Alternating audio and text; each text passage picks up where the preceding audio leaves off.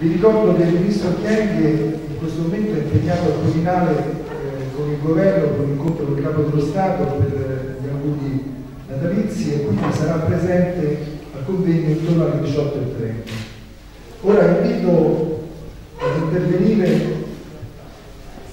l'onorevole Fabio Porta della Commissione Esteri della Camera, Presidente del Comitato per gli italiani all'estero della Commissione e in rappresentanza dell'ambasciatore Andrea Meloni, direttore generale Sistema Paese, il consigliere Roberto Nocella, se eh, è in sala.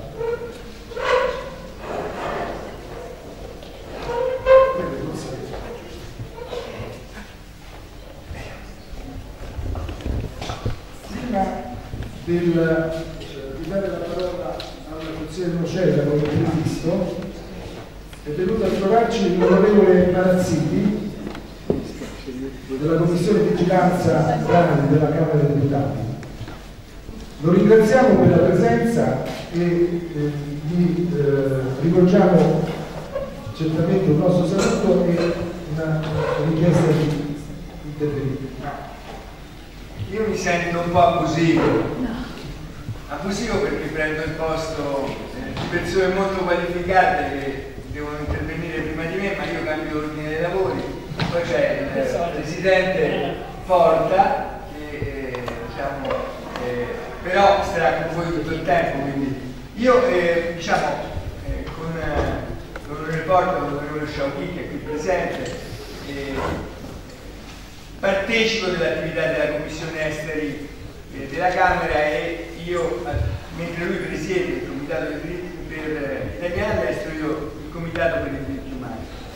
Ora, eh, voglio portarvi una testimonianza e intanto fare i complimenti all'iniziativa della WIP, perché mette al centro un, un tema vero. La lingua e la cultura italiana non solo sono fondamentali per l'identità del nostro paese, per l'integrazione in Italia e nel mondo, lo sa bene qui anche l'onorevole Lamarca, qui abbiamo una presenza parlamentare impressionante, scusate, visti i tempi, dobbiamo approvare semplicemente la legge finanziaria, perché si chiama legge stabilità. Quindi pensate quanto per chi è presente qui è importante il controllo Ma vi porto una testimonianza, perché la lingua e la cultura italiana fanno diventare italiani, sono l'Italia. E lo sanno bene gli italiani anche che hanno vissuto all'estero o che sono figli di chi è cresciuto all'estero. Per questo motivo noi abbiamo voluto presentare anche un progetto di legge per la cittadinanza italiana rivolta ai bambini, figli di immigrati che nascono però in Italia, che contenga anche un punto centrale, che è quello che abbiamo chiamato lo ius culture, cioè il fatto che non solo chi nasce in Italia, ma anche chi studia in Italia chi vive, respira la cultura, la vita dell'Italia è italiano, non solo diventa italiano. Questa legge serve perché questo diventi normale. Allora, questo discorso, eh, questo discorso è un discorso che io vorrei eh, portare alla vostra attenzione come nuovo, centrale, perché è quello che ha fatto la difficoltà, quando non è stato risolto in questo modo, ha fatto la difficoltà per gli italiani all'estero e fa la difficoltà per gli immigrati in Italia. Perché il problema è semplicemente che la cattiva leggenda per cui un paese deve aver paura degli immigrati e per questo li tratta male, è una leggenda che parte dal fatto che si parla male. È una leggenda che parte dal fatto che qualunque gruppo in tutte le storie del mondo, in tutti i continenti del mondo, quando arriva uno da fuori, ha paura perché parla diverso. È la sindrome dello scompartimento del treno. Vi ricordate i treni quando avevano uno scompartimento da 6, no? Eh, la prima classe aveva lo scompartimento da 6, la terza c'aveva solo i sedili. Beh, lo scompartimento da sé, quando stavi da solo c'era un altro, uno stava dalla fila, uno dall'altra, che bello, chiacchieriamo, conversiamo. Poi arrivava un secondo, si sedeva o da una parte o dall'altra, ma poi andava bene. Quando arrivava l'altro, cioè eravamo quattro a quel punto, ancora si riusciva perché tutti allungavano le gambe. Ma quando arriva il quinto e poi quando arriva il sesto, l'ultimo è un nemico.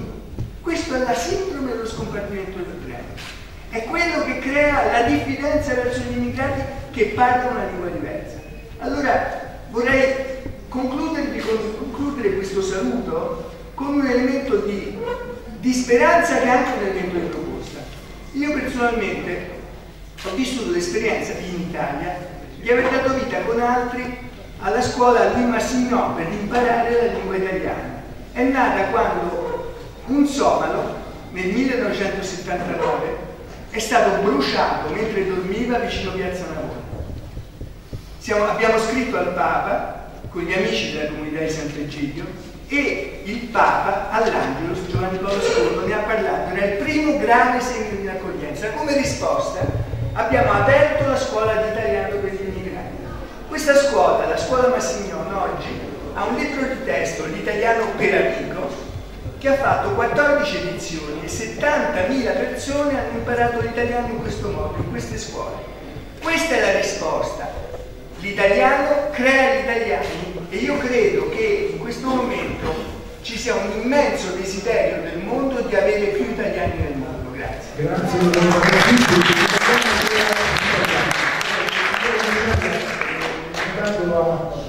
a rappresentare l'ambasciatore Meloni ricordo intanto anche la presenza del consigliere Antonini in rappresentanza della direzione, della direzione generale eh, degli all'estero. E saluto.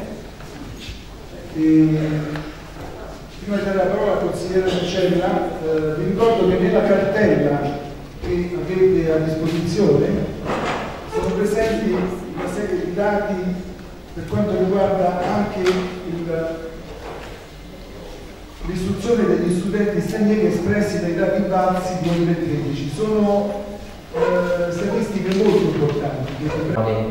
E, per le scuole italiane all'estero che costituiscono una sorta di laboratorio di integrazione. Le nostre scuole sono presenti un po' in tutto il mondo, prevalentemente in, in Europa, in America Latina e in Africa. Abbiamo 8 scuole statali, 44 scuole paritarie, 76 sezioni italiane scuole straniere o internazionali. Ora io per poter diciamo, um, lavorare oltre agli adempimenti quotidiani di natura amministrativa mi sono dato una missione, cioè ho detto, ho cercato di ricercare anche attraverso i miei collaboratori il perché dell'importanza delle, delle, scuole italiane all'estero. Naturalmente eh, le risposte possono essere molteplici. La, gli aspetti che io ritengo maggiormente importanti sono che le scuole costituiscono innanzitutto una rete attraverso la quale solo inviare delle persone all'estero ma anche veicolare dei messaggi collegati alla politica interna e politica estera soprattutto italiana e costituiscono una rete eh, sia delle ambasciate dei consolati all'estero che naturalmente del Ministero dell'Istruzione. Quindi cerchiamo ogni giorno di fare come eh, vuole eh, il nome della mia direzione generale, sono la direzione generale per la promozione del sistema paese, di fare sistemi. Questa parola è piuttosto ricorrente e inflazionata, credo che uno dei, dei modi per poterla spiegare nel migliore dei modi è lavorare assieme. Quindi quello che noi cerchiamo di fare la promozione del lavoro delle scuole italiane all'estero sia in collaborazione o con partecipazione con altre eh, realtà presenti nel, nei paesi stranieri come le ambasciate ma anche gli istituti di, di cultura e sia collegando il loro lavoro con quello che si fa in, in Italia.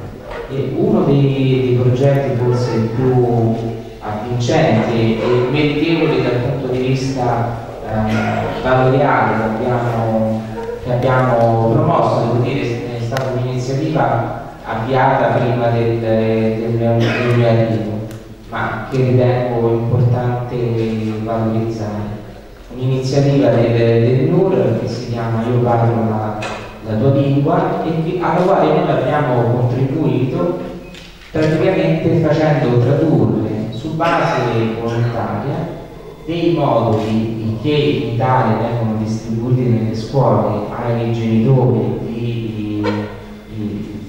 qualsiasi bambino, sia esso italiano o straniero, eh, per eh, regolare la vita di un, un, alunno nella scuola stessa. Come... Trovarono ad affrontare i nostri emigrati, milioni di quei connazionali che proprio l'indomani della dell'Unità d'Italia andarono in giro per, per, il mondo parlando sostanzialmente il nostro, il nostro dialetto. Io voglio leggere una parte, anzi voglio tradurre perché è in portoghese, di uno dei tantissimi libri, questo è l'ultimo che, che, ho, che mi è stato regalato, è la storia di uno dei tanti borghi, ville, no? come si chiamano in portoghese, quindi villaggi fondati da, dagli italiani.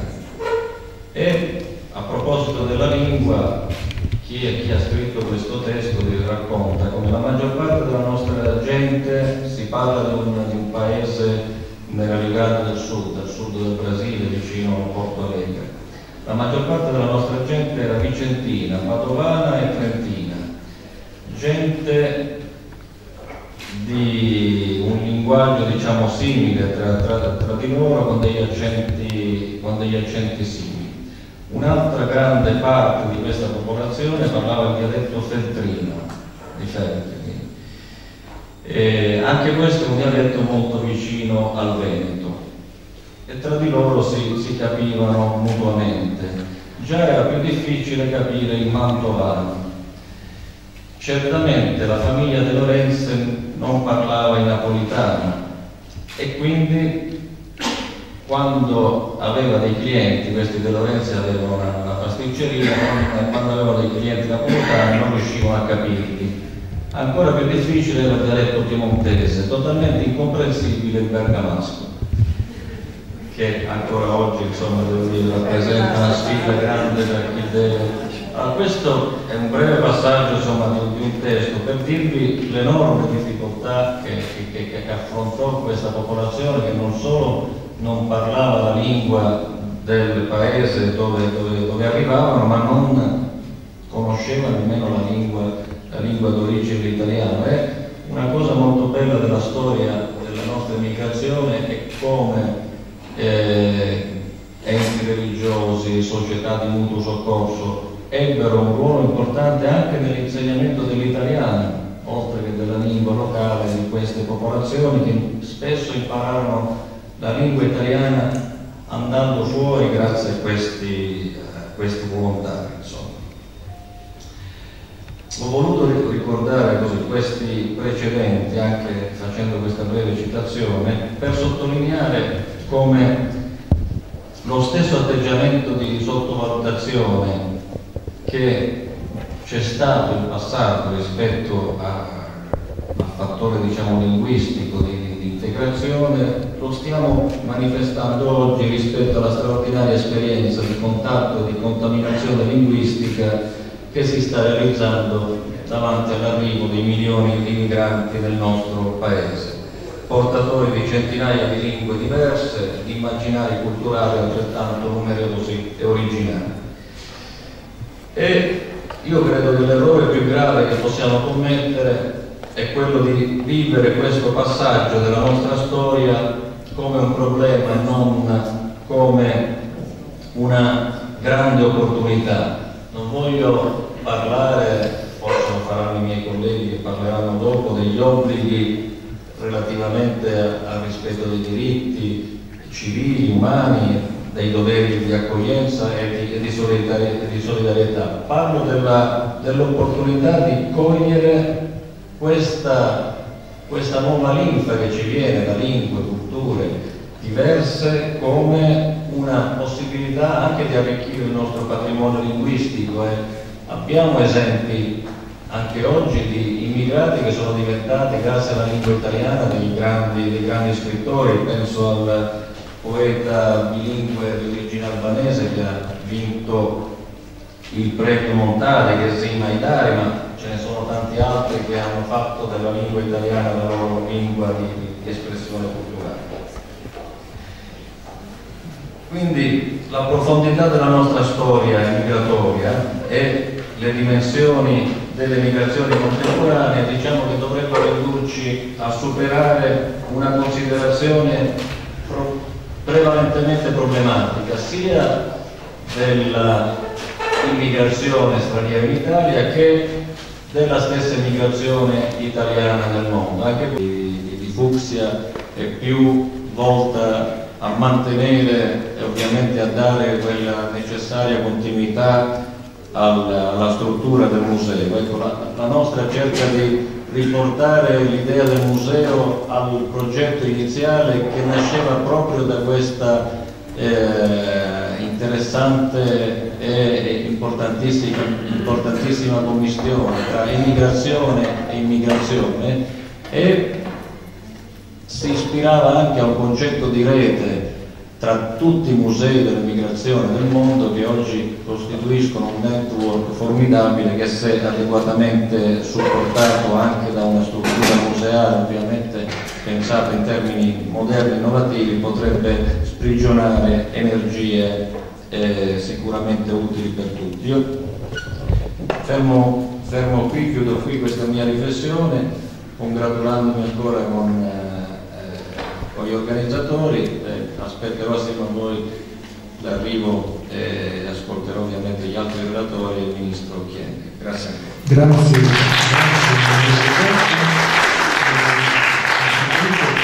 Questa è la prima occasione di incontro e avremo modo tematiche che hai sollevato.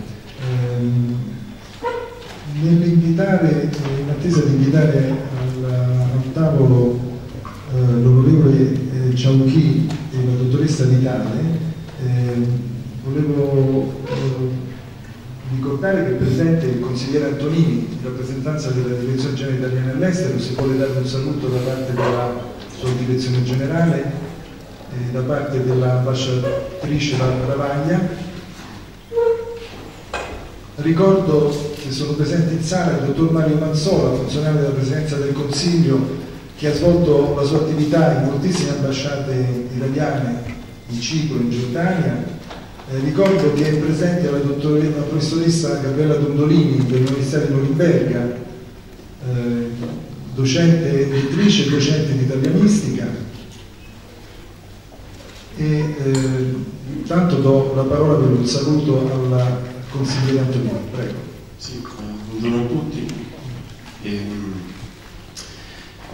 L'onorevole Porta ha citato la riforma della legge 153. Io volevo richiamare il seminario sulla lingua, sulla promozione della lingua e cultura italiana che abbiamo organizzato insieme al Consiglio generale per l'italiano all'estero, eh, al MIUR e alle regioni condominio con la direzione generale del sistema paese.